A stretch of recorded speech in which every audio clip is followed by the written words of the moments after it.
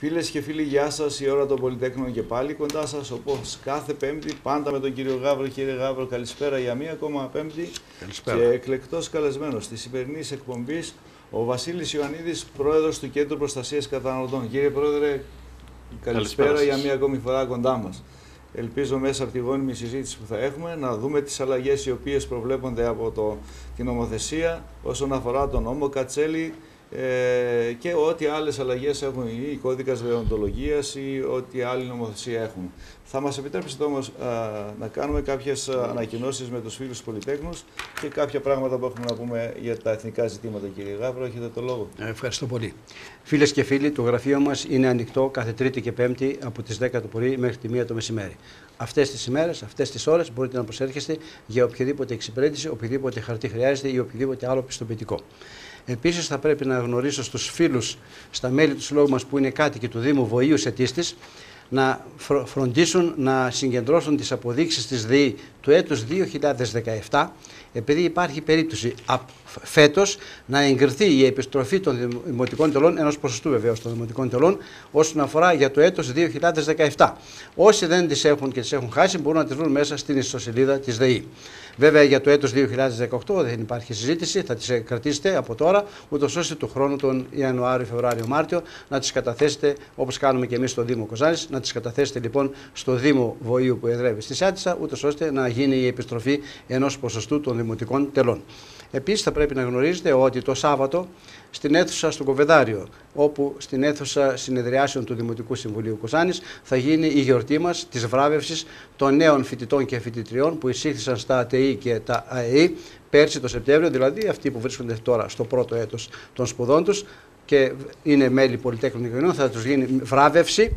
Οπωσδήποτε βεβαίως θα πρέπει να είστε όλοι όσοι έχετε παιδιά, αλλά θερμή παράκληση και όσοι πολίτεκνοι επιθυμείτε, όλα τα μέλη μας, έστω και αν δεν έχουν παιδιά προς βράβευση, να έρθουν σε αυτή τη γιορτή μας. Θα βραβεύσουμε επίσης και τις μητέρες που απέκτησαν τέταρτο, πέμπτο και επιπλέον παιδιά κατά το προηγούμενο έτος. Στην ίδια δηλαδή εκδήλωση θα γίνει βράβευση φοιτητών, φοιτητριών και των πολυτέχνων μητέρων. Ε, ευχαριστούμε πολύ κύριε Ράβρο. Να πούμε δε στους φίλους που μας ακούνε από το, από το Βόιο ότι η επιστοφή των δημοτικών τελών α, είναι 30% και ευελπιστούμε τα επόμενα χρόνια, όπως δεσμεύτηκε εκεί ο Δήμος, να το φτάσει στο 50% έτσι όπως είναι και στον, α, στην Κοζάνη, στο Δήμο Κοζάνης. Ε, επειδή ενδιαφέρονται οι φίλοι πολίτεχνοι όσον αφορά τις επιστροφές του, του τρέχοντος έτος για το Δήμο Κοζάνης, δεν έχουμε ακόμα καμία απάντηση, αλλά νομίζω ε, σύντομα θα πάρθει, πάρθηκε η απόφαση και θα γίνουν όλες εκείνες οι ενέργειες ε, ώστε να ε, κατατεθούν στους λογαριασμούς τους ε, αυτό που δικαιούνται. Ε, να πούμε δε, στην πρόσκληση είναι ανοιχτή για όλους και όχι μόνο για αυτούς που βραβεύονται κύριε Γάβρο, αλλά για όλους τους φίλους πολίτεχνους που μας ακούν, μπορούν να έρθουν να στηρίξουν την προσπάθεια αυτή. Είναι στο κέντρο της πόλεως. Καλό είναι λοιπόν το απόγευμα του Σαββάτου στις ε, 6.30 ώρα να βρίσκονται στο κοβεντάρι για να μπορέσουμε να α, στηρίξουμε και την προσπάθεια του Συλλόγου αλλά των παιδιών και των μητέρων που στις δύσκολες αυτές, ε, στην δύσκολη αυτή περίοδο συνεχίζουν να γεννούν και να μεγαλώνουν την πατρίδα μας, να στηρίζουν την πατρίδα μας με τις νέες γεννήσεις. Ε, κύριε Γάβρο ε, και κύριε Πρόεδρε, ε, κύριε Ιωαννίδη, ε, η πατρίδα μας τα τελευταία, ε, την τελε- τα τελευταία χρόνια διάγει μια περίοδο ε, περιοριστικής πολιτικής, οικονομικής, δύσκολης θα έλεγα, αλλά ε, ε, τελευταία έχουμε και τα εθνικά θέματα, κύριε Γάβρο. Εθνικά θέματα όσον αφορά με τη συμφωνία των Πρεσπών, ε, η οποία είναι μια, μια ε, συμφωνία που από ό,τι φαίνεται ο ελληνικός λαός δεν αποδέχεται. Βλέπουμε τουλάχιστον ε, ανά την Μακεδονία ε, μέρα με τη μέρα και σε κάθε πόλη σχεδόν μια καινούρια εκδήλωση διαμαρτυρίας. Ε, το ίδιο θα, αυτή τη στιγμή συμβαίνει και στην πόλη της Κοζάνης ε, με πρωτοπόρο το σύνδεσμο γραμμάτων και, ε, και τεχνών και όλους τους συλλόγους οι οποίοι συμμετέχουν σε αυτό. Ε, τους ευχόμαστε καλή επιτυχία έτσι κι αλλιώς, ελπίζοντας ότι ε, ο ε- ενωμένος ελληνικός λαός θα μπορέσει να πάει ένα βήμα μπροστά. Κλείνουμε και αυτή την παρέθεση που κάναμε και να μπούμε στα σημερινά θέματά μας, ε, δύσκολα για αυτά τα θέματα κύριε Πρόεδρε.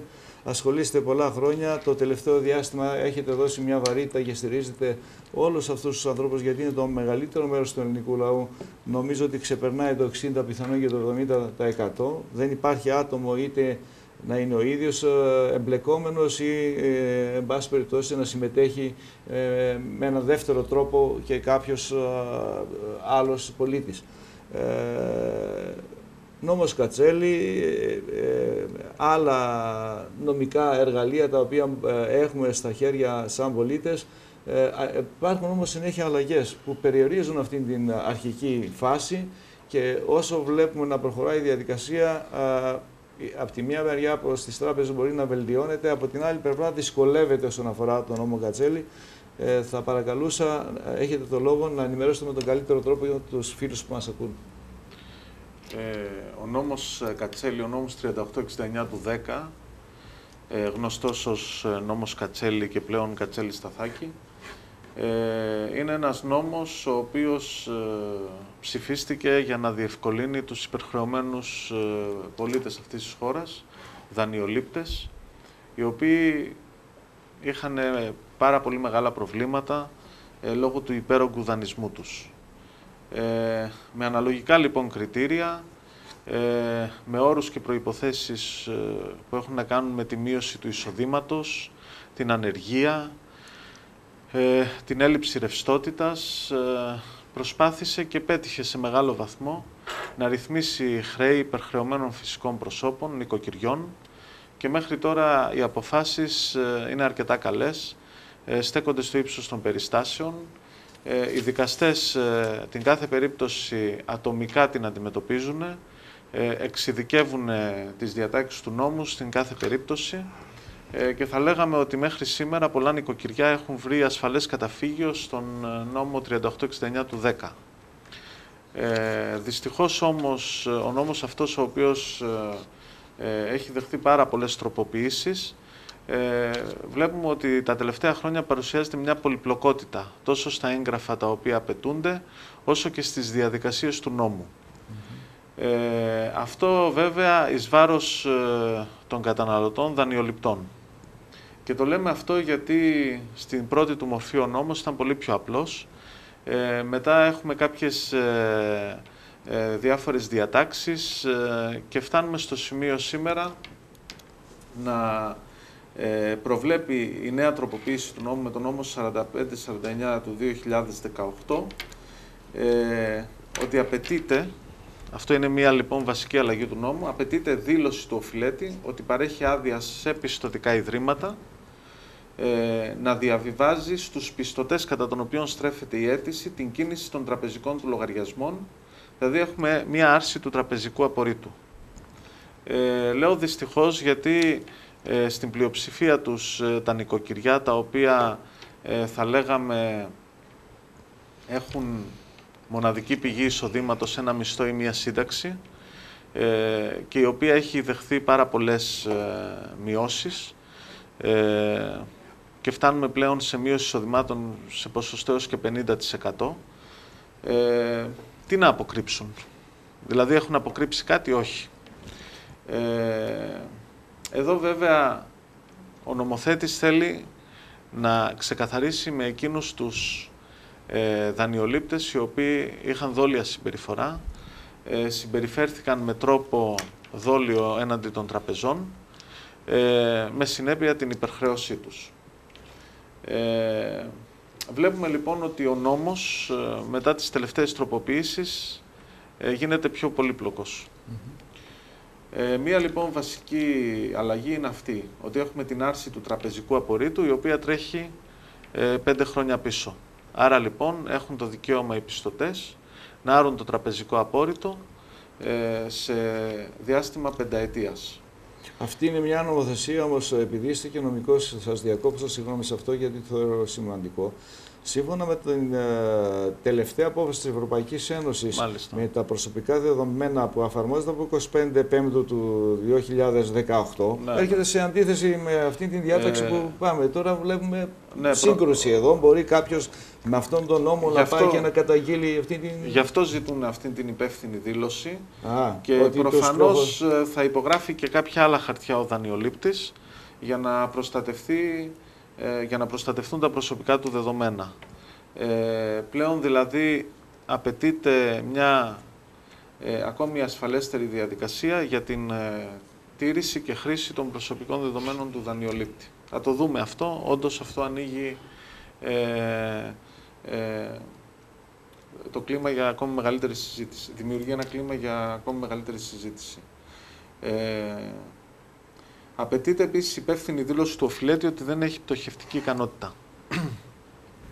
Και εδώ θα δούμε ε, κατά πόσο ο κάθε δανειολήπτης θεωρεί ότι έχει ή δεν έχει πτωχευτική ικανότητα. Και το λέω γιατί, ε, γιατί στο νόμο 3869 του 2010 συναντάμε έννοιες όπως έμπορος, μικρέμπορος, ε, κάποιοι μικρέμποροι αντιμετωπίζονται όπως τα φυσικά πρόσωπα, ε, άρα λοιπόν εμπίπτουν στις διαδικασίες του νόμου 3869 του 10. Επίσης, ε, ε, στο διάστημα της προδικασίας, ε, οι γραμματείες των εκάστοτε ειρηνοδικείων θα προχωρούν σε μία διαπίστωση αν με βάση την ε, φορολογική δήλωση δηλώνει επιχειρηματική δραστηριότητα ο εκάστοτε ε, ο φιλέτης, ο οποίος ε, ζητάει την υπαγωγή του στις διατάξεις του νόμου ή όχι. Ε, δηλαδή εδώ πέρα βλέπουμε ότι η γραμματεία ε, αποκτάει ένα ρόλο ελεγκτικό που για μας αυτό το ρόλο έπρεπε να τον έχει ο δικαστής. Δηλαδή, ε, φυσικά και ο νόμος 3869 του 2010 έχει θεσπιστεί για τα φυσικά πρόσωπα, αλλά αρμόδιος να κρίνει αν είναι φυσικό ή νομικό πρόσωπο, αν έχει ή όχι εμπορική ιδιότητα, είναι ο δικαστής ε, και όχι η γραμματεία, η οποία θα κάνει ένα πρώτο ξεσκόνισμα, θα λέγαμε, και σε περίπτωση θετικής κρίσεως, ε, ο Ειρηνοδίκης θα αποφασίζει μέσα σε 10 ημέρες αν ε, θα έχουμε αναστολή, απαγόρευση καταδιοκτικών μέτρων κατά της περιουσίας του. Άρα λοιπόν βλέπουμε ότι εδώ πέρα προσπαθούν να αντιμετωπίσουν αυτό το φαινόμενο ε, όπου ενδεχομένως κάποιοι έμποροι έλεγαν ας καταθέσουμε την αίτηση για να ε, κερδίσουμε χρόνο. Εδώ λοιπόν με την κατάθεση της αίτησης θα γίνεται ένα πρώτο ξεσκόνισμα που όμως εδώ ε, ε, κρίνει ότι η αρμόδια είναι η εκάστοτε γραμματεία του ειρηνοδικείου. Αυτό θα έπρεπε να είναι θέμα του δικαστή και μόνο του δικαστή. Η γραμμα, ε, γραμματεία δεν έχει νομικές, ε, νομική σχέση, υφή και λοιπά. Όσο μπορεί να έχει και κατά πόσο θα τα καταφέρει. Ε, επιπλέον, ε, άλλες σημαντικές αλλαγές οι οποίες όμως θα λέγαμε ότι προβλέπονταν στον νόμο, είναι ότι σε περίπτωση καθυστέρησης τριών διαδοχικών δόσεων ή συνολικά τριών δόσεων, ε, θα μπορεί να ε, ε, ξεκινάει η διαδικασία έκπτωσης στο φιλέτη. Μέχρι τώρα για να γίνει αυτό απαιτούνταν ε, δικαστική απόφαση, δηλαδή έπρεπε να υποβληθεί αίτηση από τον ε, πιστωτή ε, προς τον οποίο υπήρχε αυτή η καθυστέρηση άνω των τριών μηνών διαδοχικά ή συνολικά σε διάστημα ενός έτους ενδεχομένως. Τώρα βλέπουμε λοιπόν ότι ε, προβλέπεται μία νέα διαδικασία. Ποια δηλαδή; Ε, ο θυγόμενος πιστωτής, στον οποίο υπάρχει καθυστέρηση τριών και πλέον μηνών, με σχετική δήλωση την οποία θα επιδίδει στους υπόλοιπους πιστωτές, γνωστοποιεί αυτό ε, το γεγονός και καταθέτει σχετικό σημείωμα με ενσωματωμένη την εξώδικη δήλωση προς τους πιστωτές στο φάκελο που τηρείται στο αρμόδιο δικαστήριο. Και βλέπουμε λοιπόν ότι εδώ πέρα ε, αυτομάτως ο, ε, ο φιλέτης εκπίπτει των όποιων ευνοϊκών διατάξεων είτε στο διάστημα της προσωρινής ε, διαδικασίας ε, και προστασίας είτε ε, μετά την έκδοση οριστικής απόφασης. Άρα λοιπόν, ενώ απαιτούνταν από πλευράς δανειστών η κατάθεση αίτησης έτσι ώστε πλέον εκεί να κρίνει το δικαστήριο αν συντρέχουν άλλοι λόγοι, αντικειμενικοί, ε, λόγοι ε, ανωτέρας βίας ε, ή κάποιοι άλλοι λόγοι που αφορούν το πρόσωπο του οφειλέτη, και ενδεχομένως να συγχωρήσει αυτή την καθυστέρηση ο δικαστής. Ή με μια, αναβολή, ή με μια αναβολή να του τάξει εύλογο χρονικό διάστημα για να ε, καλύψει ε, τις ε, ε, λεξιπρόθεσμες δόσεις. Βλέπουμε εδώ πέρα ότι πλέον ε, αυτομάτως σε σύντομο χρονικό διάστημα θα μπορεί ο εκάστοτε πιστωτής ε, του οποίου η οφειλή παρουσιάζει ληξιπρόθεσμες άνω των τριών δόσεων, όπως είπαμε, ε, να ζητάει την έκπτωσή του.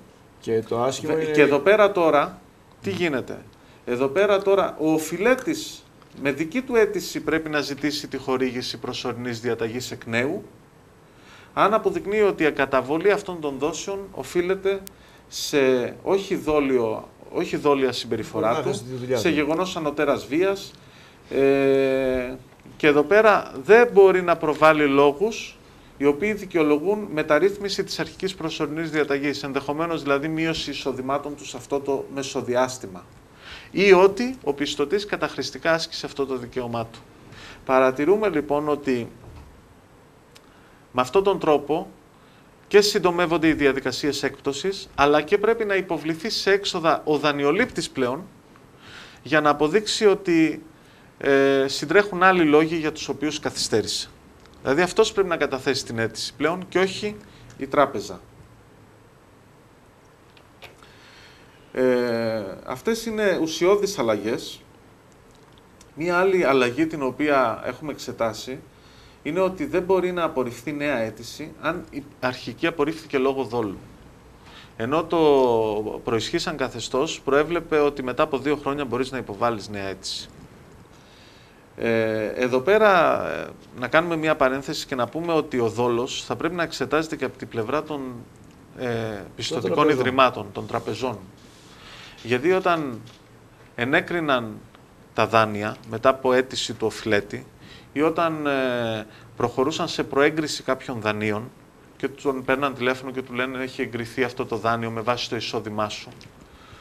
Τέλος πάντων, όταν προχωρούσαν στη σύναψη μιας συμφωνίας, είτε στεγαστικού, είτε καταναλωτικού, είτε προσωπικού δανείου, είτε επιχειρηματικού, ε, έλεγχαν τα οικονομικά του δεδομένα μέσω των ε, εγγράφων της ΔΟΗ, ε, φορολογικών δηλώσεων, ε, τα περιουσιακά του στοιχεία από τα ε9 και από έγγραφα του υποθηκοφυλακίου κτηματολογίου.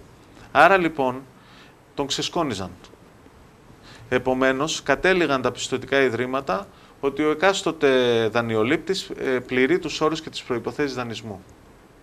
Ο ίδιος λοιπόν, εφόσον δεν επεδείκνει εδόλια συμπεριφορά η οποία συνίστατο στο γεγονός ότι απέκρυπτε εισοδήματα, παρουσίαζε κάποιο άλλο πρόσωπο από αυτό που είναι, ε, πρόσωπο μέσα σε εισαγωγικά, δηλαδή ε, ε, οικονομικά στοιχεία διαφορετικά από αυτά που έχει, τότε δεν συντρέχει λόγος από την πλευρά του δανειολήπτη, γιατί η τράπεζα έχει όλα εκείνα τα ε, στοιχεία ε, και όλα τα μέσα για να διαγνώσει την πιστοληπτική του ικανότητα. Mm Επομένως, λοιπόν, ε, με δεδομένη την οικονομική κρίση από το 9 και εντεύθεν, ε, την ε, μείωση των εισοδημάτων σε ποσοστά κοντά στο 50%, την ανεργία και όλους αυτούς τους παράγοντες οι οποίοι θα λέγαμε ότι ρήμαξαν την ελληνική οικονομία, θα πρέπει ε, ο δόλος να εξετάζεται πολύ προσεκτικά από τη μεριά ε, του δανειολήπτη. Γιατί ε, πραγματικά όλοι κάνανε ένα σχεδιασμό για τα επόμενα 15-20 χρόνια στα πλαίσια ενός στεγαστικού δανείου, που δυστυχώς έπεσε έξω. Δηλαδή, ακόμα και αυτός που πήρε στεγαστικό δάνειο το 2001 με 2005, τις καλές εποχές, λογικό ήταν σε μια διάρκεια 20 ετών, σήμερα να έχει πέσει έξω. Δηλαδή αυτός όταν πλήρωνε μέχρι το 2012-2013 δεν ήταν δόλιος και σήμερα είναι; Πρέπει όλα αυτά να τα ε, δούμε λοιπόν προσεκτικά. Εμείς όμως θέλουμε να καταλήξουμε στο ότι ε, ο δόλος θα πρέπει να εξετάζεται πολύ προσεκτικά γιατί οι τράπεζες είχαν όλα εκείνα τα μέσα, τις δυνατότητες να ελέγξουν το κάθε δανειολήπτη και φυσικά ε, γνώριζαν πολύ καλύτερα από εμά πού πάει η οικονομική κατάσταση της χώρας. Αυτό είναι απόλυτο, έτσι. Ε, είναι, είμαστε συγκεκριμένοι πριν, εδώ. Πριν όμως συνεχίσετε, γιατί θα σας βγάλω λίγο ναι. από τον ήρμό σας, ε, όσον αφορά τα χρέη που υπάρχουν, αλλά δεν έχουν υποθήκες, Υπάρχει περίπτωση, υπάρχει ένας νόμος τον οποίο δεν έχω τώρα στο μυαλό μου, εσείς μπορεί να το γνωρίζετε καλύτερα. Η πενταετή παραγραφή, όταν παρέλθει η πενταετή τέτοια μπορεί να παραγραφούν, είναι τα αποσβέσει η τράπεζα γιατί την παρασύρουν και δεν υπάρχει πιθανότητα από ανθρώπους που λέμε ότι είναι άνεργοι κλπ. να μην. Ε, κοιτάξτε να δείτε. Η... Γίνεται ε, σε όλες τις επιχειρήσεις, ναι. να πούμε έτσι κι αλλιώς. Η επιχείρηση είναι και η τράπεζα. Ε, οι χρηματικές αξιώσεις εντός πενταετίας παραγράφονται. Ε, γι' αυτό η τράπεζα με εκτελεστό τίτλο είτε απόφαση είτε διαταγή πληρωμής ε, πλέον ε, την οποία εκδίδει ε, ε, το, το αρμόδιο δικαστήριο ε, εκεί πέρα δεν έχει θέματα παραγραφής. Εκεί πέρα μετά κανονικά μπορεί και αξιώνει τις ε, ε, όποιες αξιώσεις της από μία σύμβαση δανείου. Ε, άρα λοιπόν από τη στιγμή που βγαίνει μία διαταγή πληρωμής ή μία δικαστική απόφαση πλέον η παραγραφή είναι 20 ετής. Επομένως... Αυτή όμως που είναι στο νόμο Κατσέλη και εκτός από τα ενυπόθηκα δάνεια που έτσι κι αλλιώς δεν ε, το συζητάμε, είναι ανάγκη να πληρωθούν με οποιοδήποτε τρόπο είτε την απόφαση του ναι. δικαστηρίου είτε με την ε, συμφωνία με, μεταξύ του δανειολήπτη και της τράπεζας, ε, θα βρεθεί λύση. Όσον αφορά για αυτά που πιθανόν να έχει και ένα ή δύο τα οποία δεν είναι ενυπόθηκα, ίσως κάποιες κάρτες ή ναι. κάποια διακοποδάνεια τα οποία ε, κατά τη διάρκεια, γιατί παλιά στο νόμο Κατσέλη ήταν πενταετία, τελείωνε ο χρόνος. Υπάρχει πιθανότητα όταν πάει στο δικαστήριο εκεί αυτά να τα διαγράψει το δικαστήριο και να γίνει δίτα ενυπόθηκα, δεν ξέρω. Ε, κοιτάξτε να δείτε. Επειδή και ο νομοθεσία το ορίζει. Μπορεί να δει ότι πέρασε πενταετία, σου λέει εκεί. Λέω αν ήμουν δικαστής εγώ τώρα, δεν ξέρω πώς. Ε... Όχι, κοιτάξτε, από τη στιγμή που καταθέτει την αίτηση του νόμου μέχρι να δικαστεί υπάρχει ένα διάστημα εκκρεμωδικίας. Ναι. Άρα δεν ισχύει η πενταετία. Ναι. Ε, εκεί πέρα λοιπόν δεν ισχύει γιατί ε, πλέον ε, εκείνο το διάστημα ε, η παραγραφή αυτή αναστέλλεται όλο εκείνο το διάστημα. Μάλιστα. Ε, επομένως λοιπόν βγαίνει, εκδίδεται η απόφαση και άρα ισχύει πλέον αυτή η απόφαση. η οποία όμως στο νόμο Κατσελίνη είναι ιδιαίτερο καθεστώς γιατί αυτή η πρώτη απόφαση η οποία εκδίδεται είναι μέσα σε εισαγωγικά μια προσωρινή απόφαση. Ε, Με δηλαδή- την τήρηση της ρύθμισης, τότε παίρνεις απαλλαγή. Με το τέλος της 20 ετίας ή της 5 ετίας που σου ορίζει να καταβάλεις, τότε παίρνεις απαλλαγή. Άρα λοιπόν εκείνη είναι η απαλλακτική απόφαση, η δεύτερη. Η δεύτερη δηλαδή είναι αυτή η οποία... Πρέπει να τηρήσει δηλαδή ο δανειολήπτης ναι, ναι. όλο το χρονικό Πρέπει διάστημα το οποίο σε επιτάσσει το δικαστήριο έτσι, και όταν λήξει έτσι. τότε ζητάς την απαλλαγή. Βεβαίως, βεβαίως. Ε, μετά δηλαδή ζητάς την... όμως και μετά από αυτό να, η τράπεζα να εναντιωθεί και να αρνηθεί αυτή τη διαδικασία, όχι, δεν νομίζω. Η τράπεζα μπορεί να ασκήσει έφεση ναι. και πλέον στο, το δευτεροβάθμιο δικαστήριο θα κλείνει αναλόγως. Μάλιστα. Στην πρωτο... Ναι. Συγγνώμη για τη διακοπή, αλλά νομίζω και αυτά ήταν σημαντικά ναι. Ε, επίσης, μία άλλη διαφορά είναι ότι εδώ πέρα το ελληνικό δημόσιο μετά από αίτηση του οφειλέτη υποχρεούται ε, να καταβάλει ε, ένα ποσό στα πλαίσια λοιπόν της συνεισφοράς του ελληνικού δημοσίου ε, το οποίο δεν μπορεί να υπερβαίνει σε διάρκεια τα τρία έτη ε, και καταβάλλεται στους πιστωτές υπό την προϋπόθεση ότι ο φιλέτης παραμένει στην καταβολή της ελάχιστης συνεισφοράς του συνεπής. Ε, βλέπουμε λοιπόν ότι ε, συντηρείται και με τις νέες τροποποιήσεις ε, διατηρείται αυτή η, αίτηση, η συνεισφορά του ελληνικού δημοσίου ε, στις ε, καταβολές του οφειλέτη. Ε, μπορεί και ο πιστωτής να ζητήσει ε, ανάλογη ε, διαδικασία. Ε, δηλαδή, ο εκάστοτε δανειολήπτης από το ποσό που του έχει ορίσει το δικαστήριο, στο άρθρο 9 παράγραφος 2 για την προστασία της κυρίας κατοικίας του, μπορεί να ζητήσει από το δημόσιο να συνεισφέρει ένα μέρος αυτού του ποσού.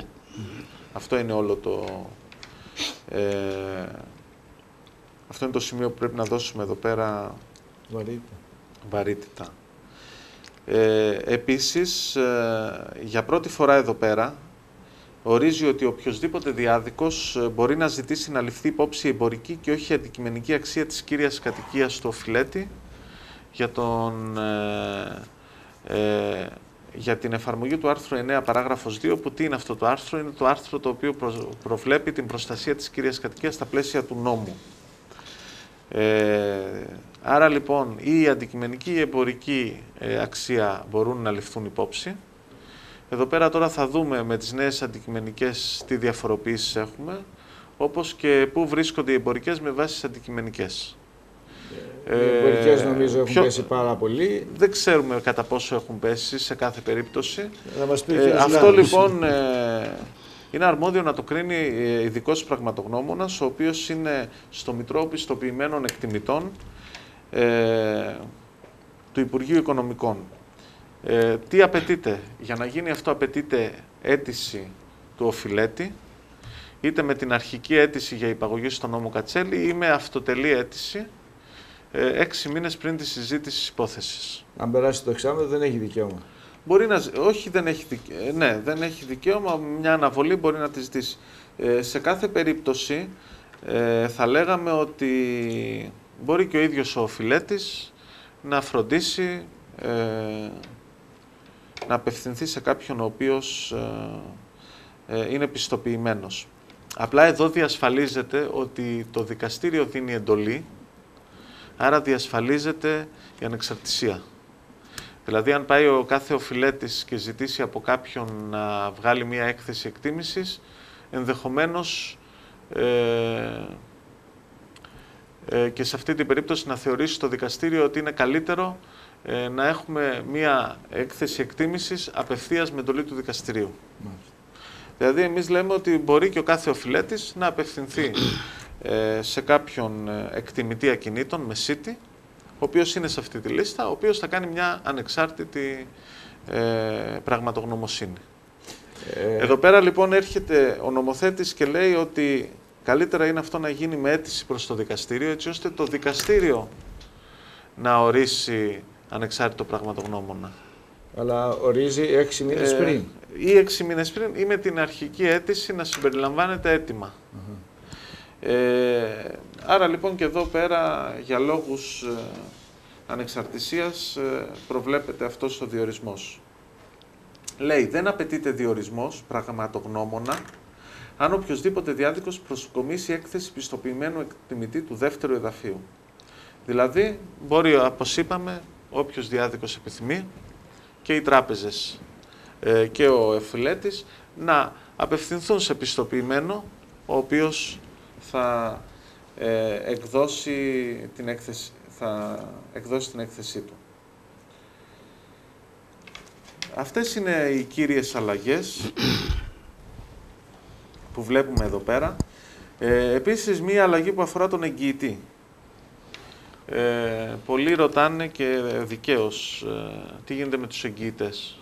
Ναι, είναι σημαντικός Ε, ζήτημα. ο συγκεκριμένος νόμος έχει ένα χαρακτήρα προσωποπαγή, δηλαδή εσύ θα ζητήσεις την υπαγωγή σου στο νόμο 3869 του 10, εσύ θα απολαύσεις τις όποιες ευεργετικές διατάξεις του. Ο εγγύητης συνεχίζει να ευθύνεται από τη Σύμβαση Εγγύσεως.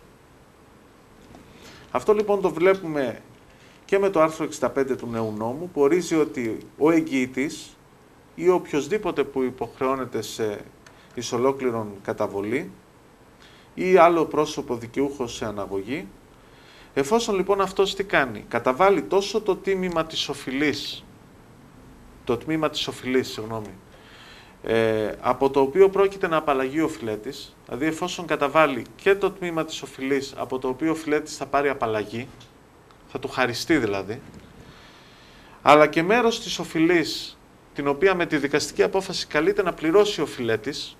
Άρα τι έχουμε εδώ πέρα; Εν ολίγης, εφόσον ο εγγυητής καταβάλει ολόκληρη την οφειλή, άρα και το μέρος που χαρίζεται στον οφειλέτη και το μέρος που καλείται ο οφειλέτης να πληρώσει, τότε ο εγγυητής λέει υποκαθίσταται ε, αυτοδικαίως στη θέση του πιστωτή. Και άρα αφού ο πιστωτής τα έχει πάρει βγαίνει απ' έξω, και ο εγγυητής δύναται να ζητήσει πλέον αυτό το ποσό από τον οφειλέτη. Μάλιστα.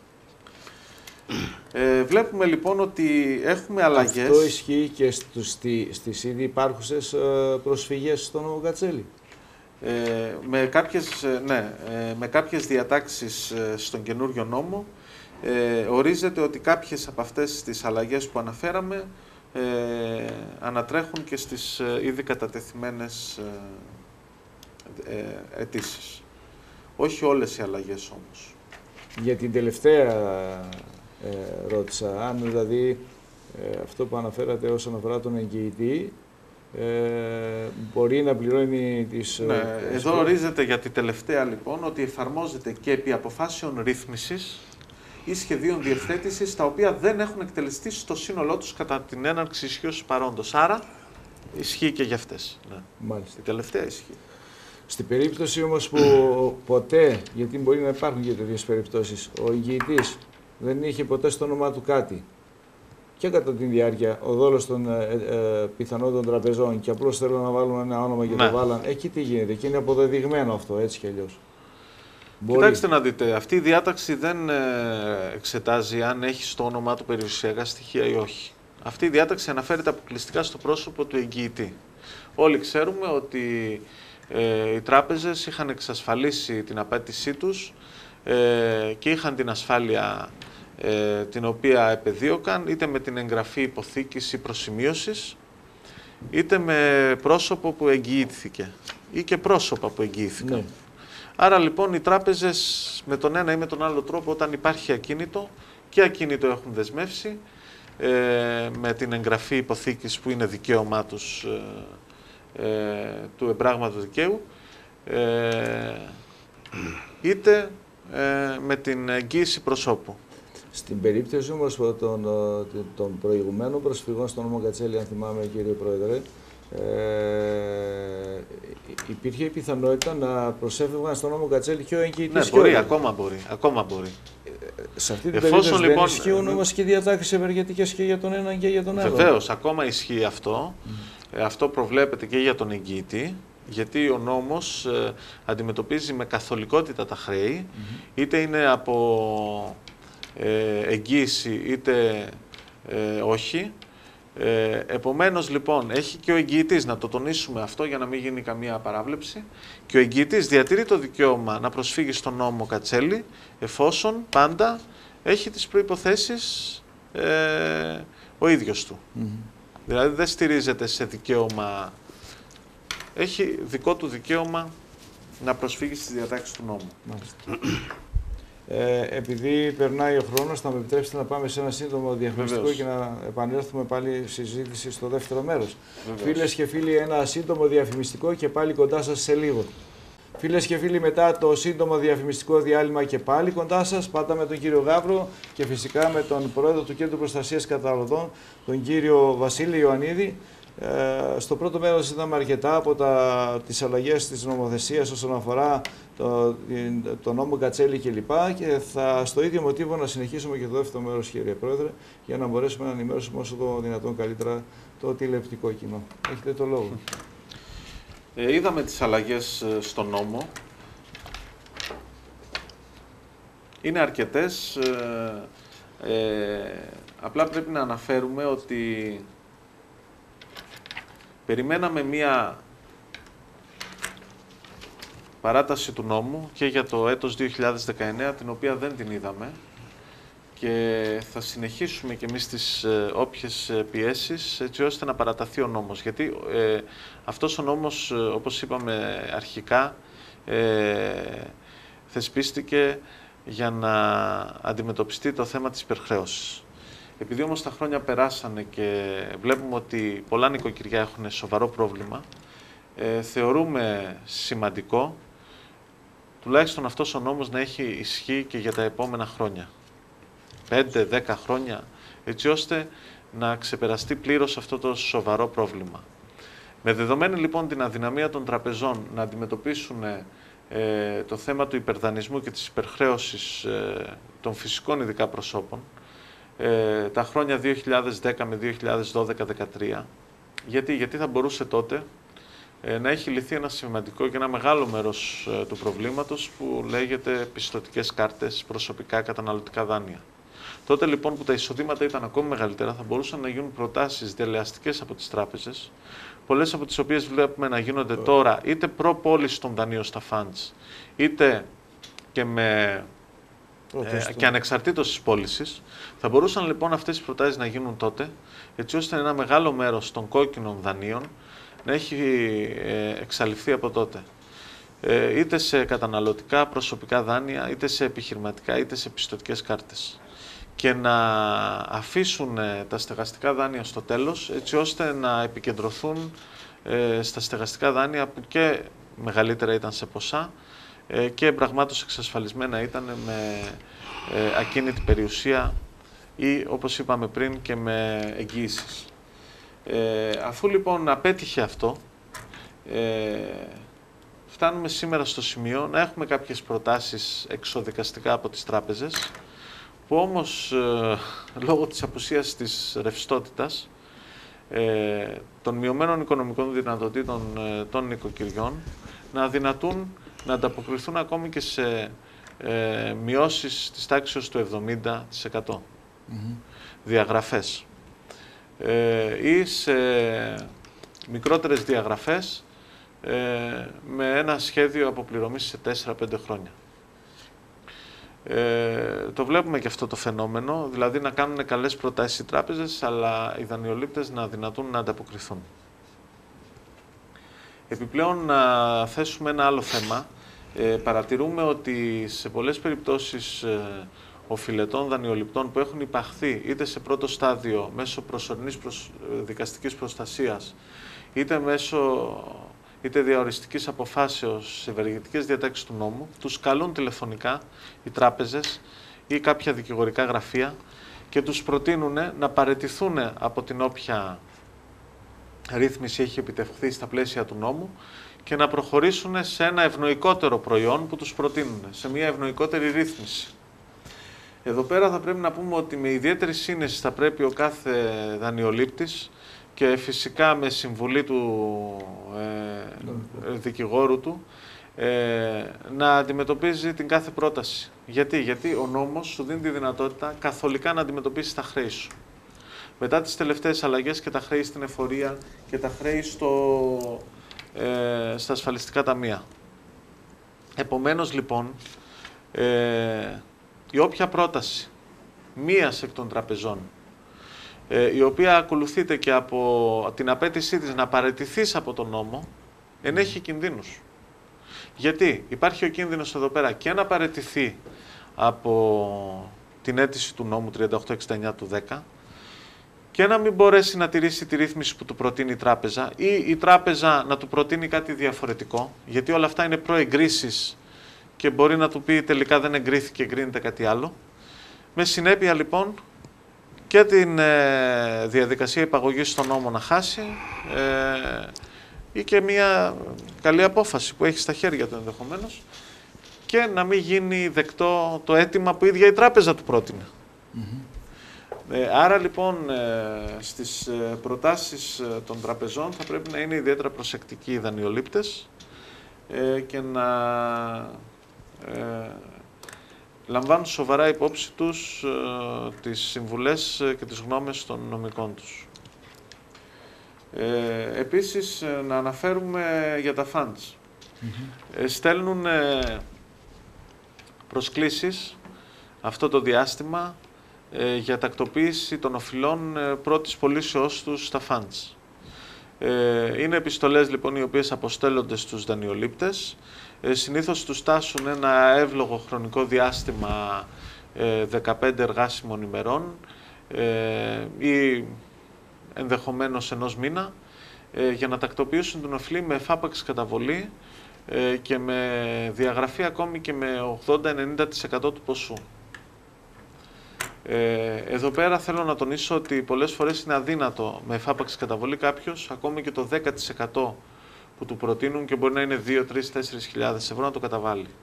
Άρα λοιπόν ε, συνιστούμε στους καταναλωτές να ζητάνε ε, και πιέζουμε τις τράπεζες να δέχονται ε, τμηματικές, ε, τμηματική εξόφληση, έστω σε 5, 6, 10 δόσεις.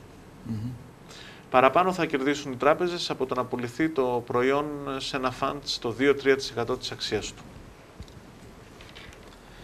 Ε, επίσης, ε, καταγγέλουμε τη συμπεριφορά πολλών ε, εισπρακτικών εταιριών, ε, γραφείων, τραπεζών ε, να παίρνουν συνεχόμενα τηλεφωνήματα κατά τη διάρκεια της ημέρας ε, σε δανειολήπτες, είτε αυτοί είναι πιστούχοι, είτε είναι εγγυητές, και να τους πιέζουν να συμφωνήσουν με μία πρόταση. Μέσω τηλεφώνου, ε, με συνοπτικές και γρήγορες διαδικασίες, απλά και μόνο για να ρυθμίσουν την οφειλή. Ε, θα πρέπει να τους ενοχλούν όπως ο νόμος προβλέπει, ε, μία φορά την ημέρα. Και δεν θα πρέπει να είναι πιεστικοί, να επαναλαμβάνουν τα τηλεφωνήματα. Και σε κάθε περίπτωση, ε, ε, περιπτώσεις στις οποίες παραβαίνουν τον νόμο, θα πρέπει ο δανειολήπτης να τις καταγγέλει και στο ΚΕΠΚΑ ε, και σε οποιοδήποτε Ινστιτούτο καταναλωτή. Έτσι ώστε να κινηθούμε. Επιπλέον, πρέπει να γνωρίζουν οι δανειολήπτες ότι πολλές προτάσεις δεν είναι μακροχρόνιες, αλλά είναι βραχυχρόνιες προτάσεις. Δηλαδή, τους κάνουν μία πρόταση για δύο-τρία χρόνια με μειωμένη δόση, η οποία μπορεί να είναι μόνο το κοπληρωμή. Και μετά δεν τους ε, ενημερώνουν ότι η δόση ενδεχομένως θα διπλασιαστεί, θα τριπλασιαστεί, έτσι ώστε να έχουμε ε, πληρωμή και κεφαλαίου. Άρα λοιπόν θα πρέπει στα τηλεφωνήματα που γίνονται, γιατί αυτή την περίοδο οι περισσότερες προτάσεις γίνονται τηλεφωνικώς, ο δανειολήπτης να μαθαίνει τη διάρκεια της ρύθμισης. Για πόσο χρονικό διάστημα θα έχει ενδεχομένως μειωμένη δόση ή περίοδο χάριτος. Τι θα γίνει με αυτή την περίοδο, οι τόκοι που πηγαίνουν. Ε, ποιο θα είναι το ποσό της διαγραφής που του προτείνουν. Ε, ποιο θα είναι το επιτόκιο της οφειλής του και τα πρώτους μήνες και αργότερα; Γιατί πολλές φορές λένε για ένα χρόνο μειωμένο επιτόκιο. Τι κερδίζει και τι χάνει με αυτή τη ρύθμιση, με αυτή την πρόταση; Και επίσης ε, ζητάμε ε, να σέβονται τον δανειολήπτη και να του δίνουν τη δυνατότητα ε, να διαβάσει την οποιαδήποτε πρόταση στο πλαίσιο της ε, προσυμβατικής διαδικασίας, πριν υπογραφεί η σύμβαση. Άρα λοιπόν να ξέρει ο δανειολήπτης ότι είναι δικαίωμά του ε, να πάρει τη σύμβαση και να τη μελετήσει μαζί με τον νομικό του. Γιατί παρατηρούνται φαινόμενα ε, κατά τα οποία αρνούνται να δώσουν στοιχεία εγγράφος, του τα λένε προφορικά και εδώ πέρα υπάρχει ο κίνδυνος ο μεν δανειολήπτης να μην τα συγκρατήσει, οι δε τράπεζες ε, να, να τον πούνε ότι α, εμείς κάτι άλλο σου είπαμε ή ε, να το προτείνουν αργότερα κάτι διαφορετικό. Επομένως, θα πρέπει όλα να γίνονται εγγράφος. Έτσι ώστε και ο δανειολήπτης να γνωρίζει εκ των προτέρων ποιες θα είναι, ε, ποιοι θα είναι οι όροι της συμφωνίας, όσον αφορά το επιτόκιο, τη διάρκεια, το κούρεμα, τη διαγραφή, τις δόσεις, ε, βασικά ουσιώδη στοιχεία της ε, πρότασης και της τελικής συμφωνίας, αλλά και η τράπεζα να μην μπορεί μετά να πει ότι ξέρεις εγώ σου πρότεινα αυτό, αλλά ε, τελικά εννοούσα αυτό ή ε, τελικά δεν έγινε δεκτό αυτό ή εγώ δεν σου πρότεινα ποτέ αυτό, σου πρότεινα κάτι άλλο. Το παρατηρούμε και αυτό. Mm. Επομένως λοιπόν θέλει πολύ προσοχή από την πλευρά των καταναλωτών δανειοληπτών ε, όταν προσπαθούν να ρυθμίσουν τα δάνειά τους.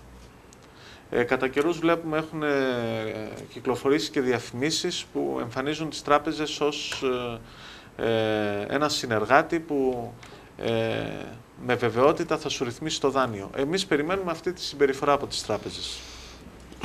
Επίσης, σας γνωρίζουν οι καταναλωτές ότι σε πολλές περιπτώσεις ε, ζητάνε επιπλέον εγκύτες, ζητάνε επιπλέον προσημειώσεις, υποθήκες ακινήτων.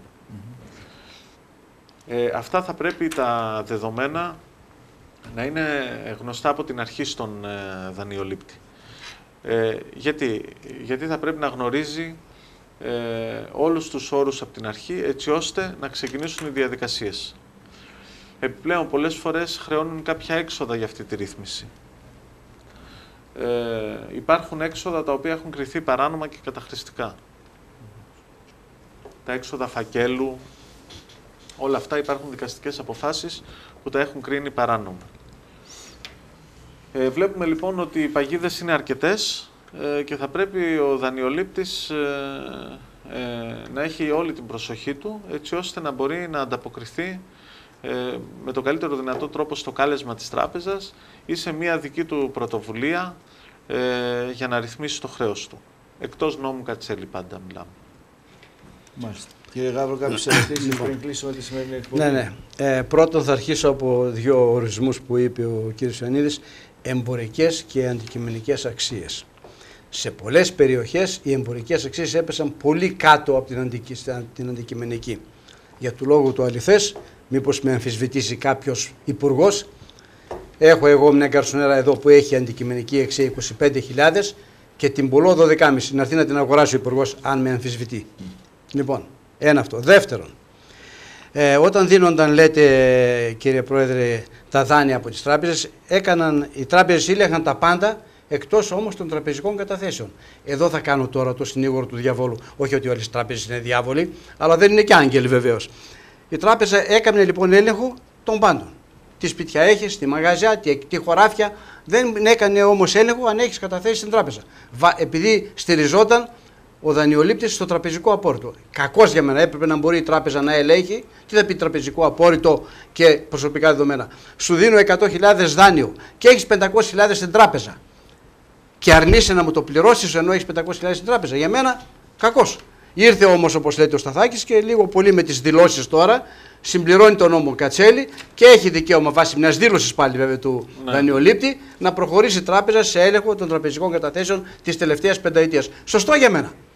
Απλά τη στιγμή που γίνεται, δηλαδή μετά από τόσα χρόνια, ναι. ε, όταν ε, στις καλές εποχές κάποιος πλήρωνε τα δάνεια, ναι.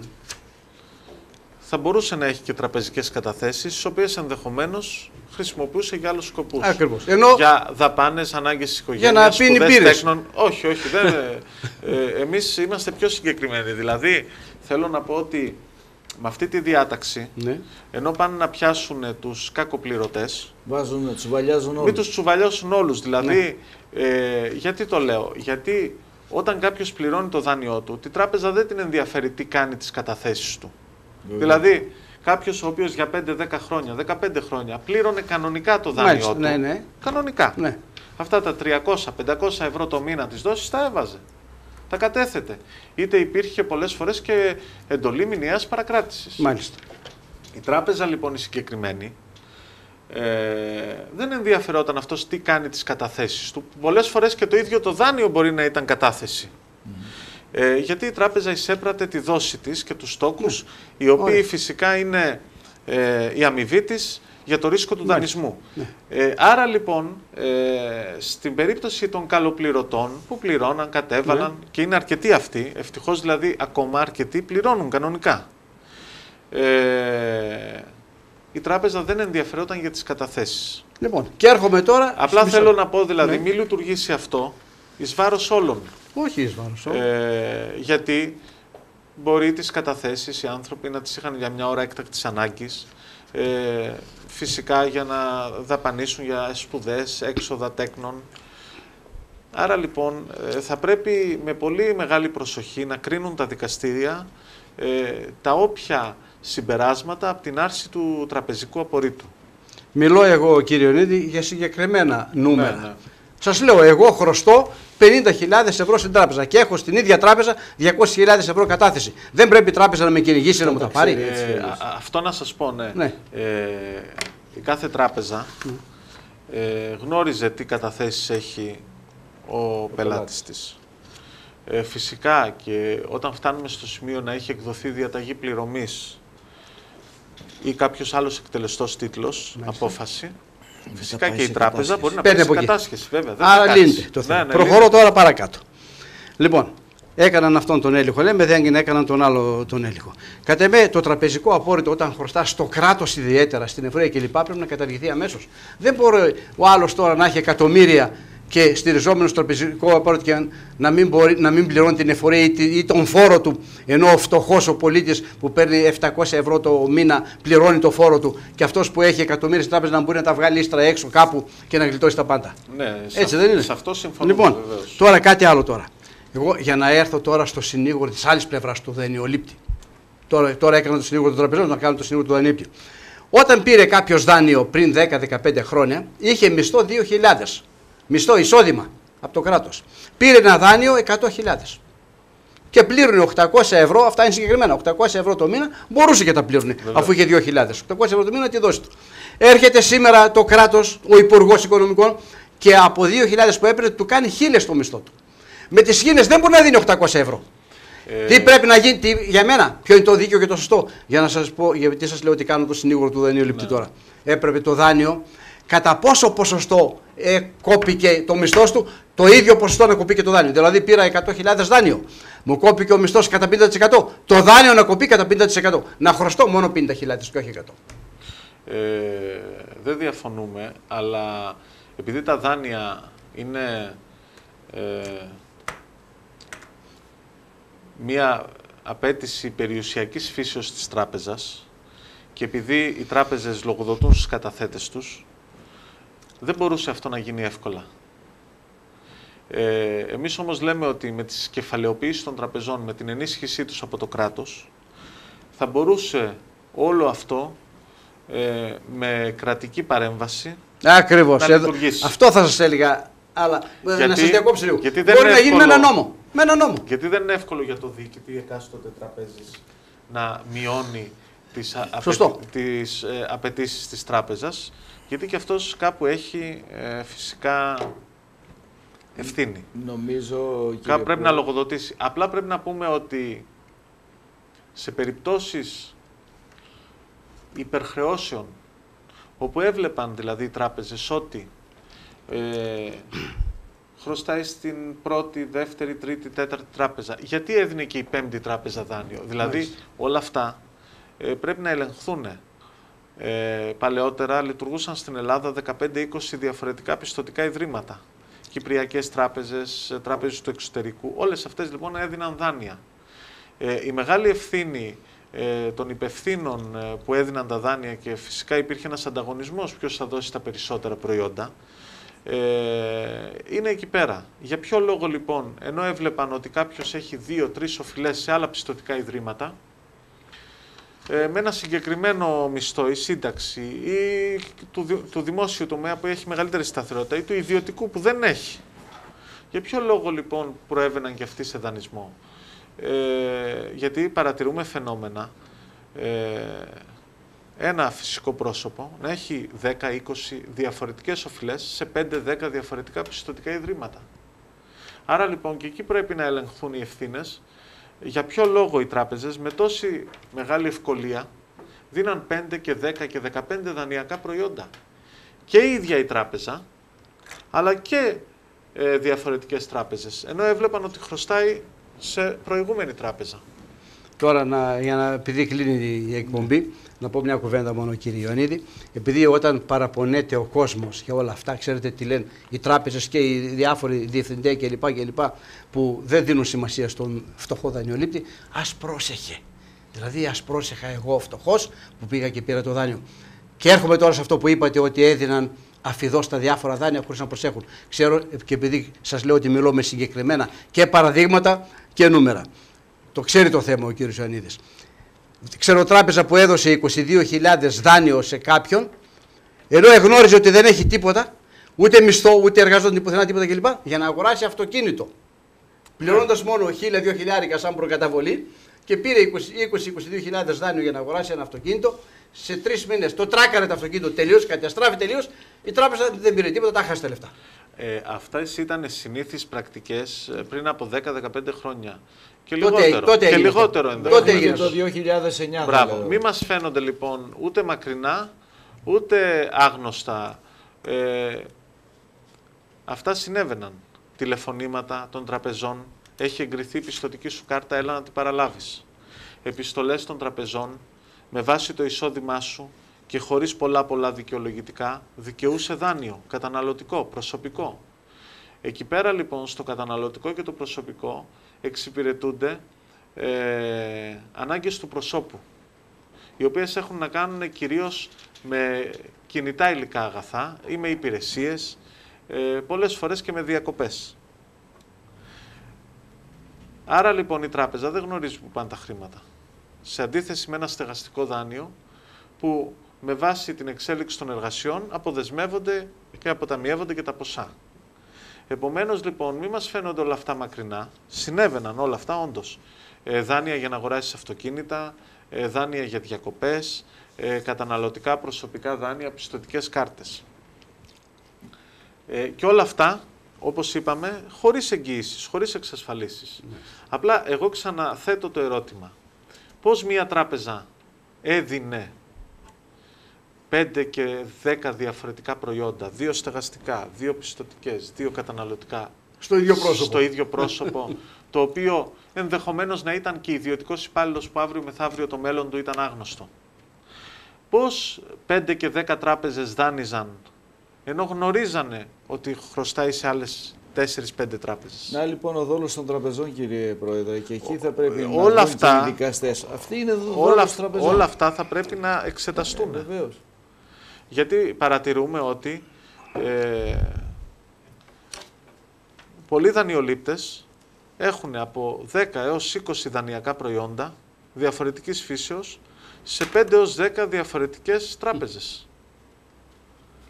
Ε, εδώ λοιπόν όλα αυτά ε, πρέπει να εξεταστούν. Μπέρδε- Αλλά φυσικά είχαμε μπει σε ένα ε, αδιάκοπο αγώνα, παιχνίδι, ε, όπου η μία τράπεζα ανταγωνίζονταν την άλλη, ποια θα δώσει τα περισσότερα προϊόντα. Θυμόμαστε ότι σε παίρναν τηλέφωνο και σου πρότειναν να μεταφέρεις τη μισθοδοσία σου. Ε, σου πρότειναν διαφόρων ειδών δάνεια, απλά για να σε έχουν πελάτη, ενδεχομένως ε, κέρδιζαν. Όχι ενδεχομένως. Η αλήθεια είναι, κύριε Πρόεδρε, γιατί το ανοίγετε, το έχουμε πει και άλλες φορές από αυτή την εκπομπή. ίσως να ήμασταν και παρέα μαζί. Από το 2003 μέχρι το 2009 οι τράπεζες πήραν 233 δισεκατομμύρια με 1% από την Ευρωπαϊκή Κεντρική Τράπεζα και τα πετούσαν πάνω στους δανειολήπτες. Δεν ξέρω ποιον σκοπό Με εξυπηρετούσαν. επιτόκια ε, μεγάλα. Τρο, τρομερά, γιατί ε, τους συνέφερε κιόλα. Όταν μιλάμε για δάνεια τέτοια, μπορεί να ήταν και 10% ή μέχρι και 21-22% για τις πιστοτικές κάρτες. Οπότε καταλαβαίνετε, ήταν τεράστια τα ποσά και κάποια να χάνα δεν τους ένοιαζε, πιθανόν λέω εγώ. Αλλά γι' αυτόν τον λόγο φτάσαν σε αυτό το ε, επίπεδο ε, χωρίς κανέναν έλεγχο. Εδώ είναι λοιπόν ο δόλος των τραπεζών που κανένας, ε, είτε ο πολιτικός φορέας ή νομικός φορέας δεν μπόρεσε να ε, ε, στηρίξει τουλάχιστον όσον αφορά σε αυτό το επίπεδο τους καταναλωτές. Θα πρέπει τουλάχιστον σε αυτό το επίπεδο τα, οι- τα δικαστήρια, αφού ίσως γίνει και γνώση, φαντάζομαι κάποιοι μπορεί να το ξέρουν, να μπορέσουν να έχουν και ένα, μια, α- ένα άλλο σκεπτικό. Ε, κοιτάξτε, εμείς ε, καθημερινά δεχόμαστε καταναλωτές δανειολήπτες. Ε, τα περιστατικά ανεργίας είναι πάρα πολλά. Ε, πλέον, ε, πολλοί εξ αυτών έχουν και προβλήματα υγείας. Ε, τα μηνύματα δεν είναι ευχάριστα, δυσάρεστα είναι. Να πούμε ότι δεν είναι μόνο οι μειώσεις των μισθών ή των συντάξεων, είναι πολλοί παράγοντες. Δηλαδή, ε, είναι η αύξηση της φορολογίας. Είναι η μείωση του αφορολόγητου. Είναι η αύξηση όλων των άμεσων και έμεσων φόρων. Είναι η επιβολή του ένφια. Δηλαδή αγόρασες ένα σπίτι και πλέον κάθε χρόνο πρέπει να πληρώνεις ένφια για αυτό το σπίτι. Ε, είναι ο φόρος εισοδήματος. Ο Να οποίος, σας διακόψω. ο οποίος, Είναι η ο Ο αλήθεια. οποίος- οποίος ένφια ο- πληρώνεται και για την κατοικία. πληρώνεται για όλα τα ακίνητα που και για δεν την υπάρχει στο κατοικία. εξωτερικό. Έτσι. Στο εξωτερικό δεν Έτσι. υπάρχει έμφυα. Και για την κατοικία φόρος και για όλα εγκυκλοπαιδείας τα για ακίνητα. αυτό που Έτσι. κατοικείς. Έτσι. Λοιπόν, ε, η κυβέρνηση είχε πει θα τον καταργήσει. Ε, είμαστε ε, στον τέταρτο χρόνο. Ε, ο φόρος εισοδήματος, ο οποίος με τη μείωση του αφορολόγητου, οι δε ελεύθεροι επαγγελματίες δεν έχουν αφορολόγητο. Με την, εκα- με την ε, 100% προκαταβολή της επόμενης χρονιάς, με Φόρους τις ειδικές αλληλεγγύης. εισφορές, φόρους αλληλεγγύης, ε, όλοι αυτοί οι παράγοντες, με την αύξηση όλων των τιμολογίων της ΔΕΗ ε, και των λοιπών, όλα αυτά λοιπόν Δεν με την προλαβαίνω. αύξηση των τιμών των προϊόντων, ζούμε στην Ελλάδα και οι τιμές είναι τιμές Ντουμπάι. Ε, όλα αυτά λοιπόν που βιώνει ο δανειολήπτης, ο καταναλωτής, έχουν σαν αποτέλεσμα ε, να έχει πνιγεί αυτή τη στιγμή. Πώς λοιπόν είναι δυνατόν να ζητάμε από αυτόν να πληρώνει με την ίδια συνέπεια και με την ίδια ε, συνέχεια τα δάνειά του; Και σας λέω, δεν είναι μόνο οι μειώσεις των μισθών ή των συντάξεων. Είναι όλοι αυτοί οι παράγοντες. Φόρος εισοδήματος, ένφια, άμεση και έμεση φόρη, αύξηση του ΦΠΑ. Ο ΦΠΑ ήταν κάποτε ε, 18% μπορεί και λιγότερο ε, και, σήμερα, ναι, και, σήμερα έχει φτάσει 23. στο 23%. Σε άλλα προϊόντα ήταν 8 και 10% και έχει φτάσει και εκεί στα ίδια επίπεδα. Στα καταναλωτικά Οι τιμές της βενζίνης. Δηλαδή, αν θέλετε να μιλήσουμε για καταναλωτικά ζητήματα, θα χρειαστούμε δύο-τρεις ολόκληρες εκπομπές για να αναφερθούμε στις αυξήσεις φωτιά. Ε, βενζίνη. Η βενζίνη δεν είναι είδος πολυτελεία. Ο άλλος θέλει να κινήσει την οικογένειά του, θέλει να κινηθεί. Ε, όλα αυτά λοιπόν τα αγαθά που έχουν πάρει φωτιά οι τιμές τους έχουν μειώσει ε, και την οικονομική, ε, την αγοραστική δύναμη του καταναλωτή. Και επειδή... Συνεπία αυτής λοιπόν, που πρέπει αυτά όλα να εξετάζονται, συνεπία αυτής ε, ο καταναλωτής, ο δανειολήπτης αδυνατεί πλέον να πληρώσει και τα δάνεια. Δηλαδή, ε, αυτή τη στιγμή ο δανειολή... μέρος, μεγάλο μέρος των δανειοληπτών έχουν να επιλέξουν. Ή θα πληρώνουν τα δάνεια και δεν θα καταναλώνουν, σε βασικά είδη, όχι σε είδη που αποτελούν ε, πολυτέλεια και επιθυμία, είτε ε, θα καταναλώνουν για να ζήσει η οικογένειά τους και δεν θα πληρώνουν τα δάνεια. Δηλαδή τα πράγματα είναι συγκεκριμένα. Αν όλοι λοιπόν οι δανειολήπτες που αυτή τη στιγμή αδυνατούν να πληρώσουν πλήρωναν μόνο τα δάνεια, η αγορά θα είχε στεγνώσει. Μάλιστα. Έτσι και αλλιώς και η οικονομική πολιτική που εφαρμόζεται και για τα επόμενα χρόνια δεν δείχνει ένα ορίζοντα που μπορούν να αλλάξουν τα πράγματα. Εκτός απροόπτου, εάν οι εταίροι μας αλλάξουν κάποια δεδομένα και πάμε σε μια ε, πραγματική ανάπτυξη, όχι αυτή που ευαγγελίζονται τουλάχιστον μέχρι σήμερα. Κοιτάξτε να δείτε, δεν είναι δυνατόν όλοι στο εξωτερικό. Εμείς οι ίδιοι να λέμε ότι πάμε από το κακό στο χειρότερο και ε, οι κυβερνώντες ε, να λένε ότι όλα είναι καλά. Ε, και μειώσεις συντάξεων βλέπουμε και μειώσεις μισθών ε, και αυξήσεις φορολογία. Θα έχουμε καινούργιες στο Σονούπο. Αυτά, αυτά λοιπόν έχουν ε, ε, δρα, δρα, δραματικές συνέπειες στην κατανάλωση, στην επιλογή του καταναλωτή, ο οποίος πλέον πάει σε φθηνότερες λύσεις και επιλογές και φυσικά σε μείωση της ποσότητας. Ε, πόσα παιδιά υποσυτίζονται. Γι' αυτό. Δηλαδή, όταν ε, πλέον ε, εφαρμόζουμε άλλες μεθόδους ε, και πολιτικές με τα συσίτια στα σχολεία, αυτά, αυτά είναι όλα καλή Πρακτική. Ιωνή, όχι φυσικά. Μάλιστα, επειδή φτάσαμε και στο τέλος της σημερινής εκπομπής, πράγματι όταν ανοίγουμε τέτοια θέματα που έχουν υφή οικονομική και με την κατάσταση που διάγουμε κύριε Πρόεδρε, μπορούμε, όπως είπατε, να ανοίξουμε και δεύτερη και τρίτη εκπομπή και δεν θα μας φτάσει. Έτσι κι αλλιώς όμως θα σας έχουμε κοντά μας εμείς και πάλι πολύ. όταν χρειαστεί για να ενημερώνετε τους φίλους τηλεθεατές. Σας ευχαριστούμε λοιπόν που ήσασταν κοντά μας και αυτή την Πέμπτη. Και Φίλες και φίλοι, και η σημερινή μας εκπομπή έφτασε. Στο τέλος της, εμείς θα είμαστε και πάλι κοντά σας την ερχόμενη Πέμπτη. Τότε, καλό σας βράδυ.